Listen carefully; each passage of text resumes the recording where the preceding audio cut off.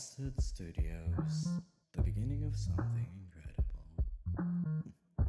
It's not distant. Want a break from the ad? If you now to watch a short Seriously? video, Another ad? ad-free. I've had enough of this.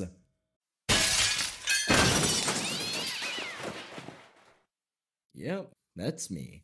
Even the most dedicated artists have their limit. Let's forget about that.